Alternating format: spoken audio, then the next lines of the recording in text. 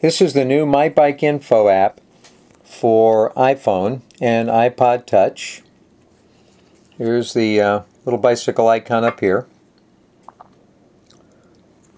Click on that, the app comes up, and um, the app will hold any number of bicycles uh, along with full data and pictures. Uh, you can see that I have three bicycles in here my time trial bike, my road bike, my track bike, and right down there my Harley Davidson lowrider. Anything that has uh, two wheels is fair game. So let's take a look at um, what's available here.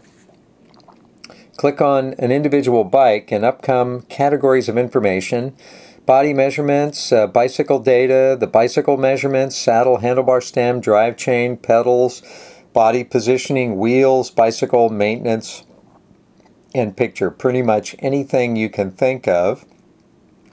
And as you can see, the column shows how the percentage of information, the data fields that have been completed. So for example, uh, let's just click on bicycle.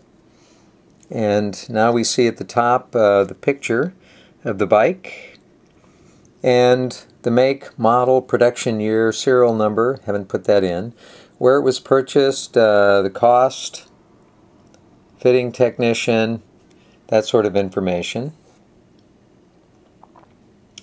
And uh, for body measurements, pretty much anything that you can think of, depending on how detailed a, a fitting you have, uh, everything from the uh, length of your tibia and femurs for both legs, your shoe size, your height, weight,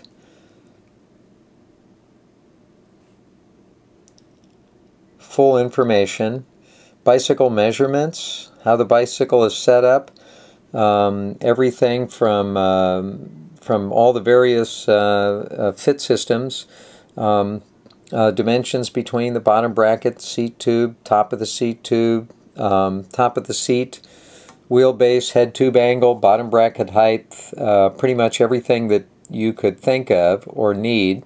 Here's another page that has uh, information sponsor page in My Bike Info.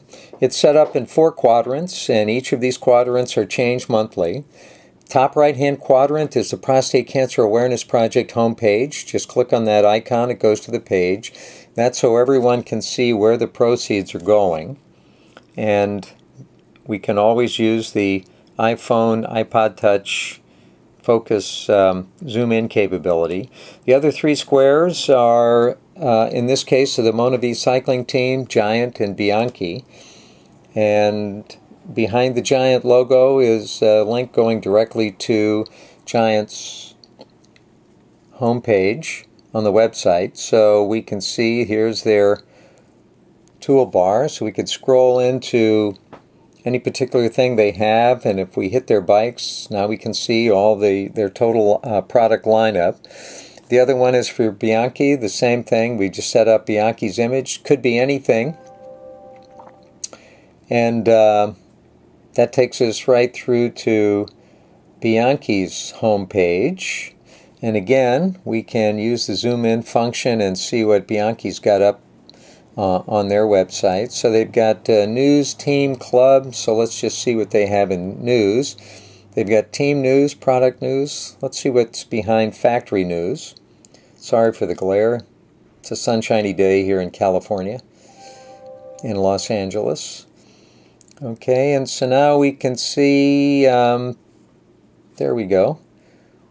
They're um, on the 15th of May, a little discussion of their new bike, and then uh, oh, it's okay. That's the most current one.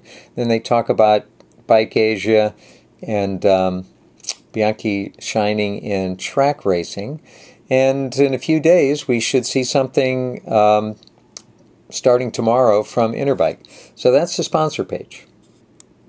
The other very clever little functionality in My Bike Info is this RSS feed section.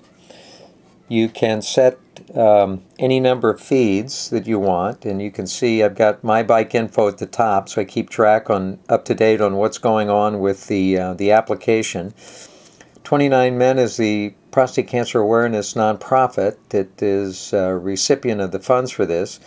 There's active.com, I've got Velo News, Trek Bikes. I also follow what's going on in Europe, so I've got BBC News. Just for grins, there's the um, current um, news feed from BBC. Looking at Velo News. There's the current uh, one from Velo News. My Bike Info.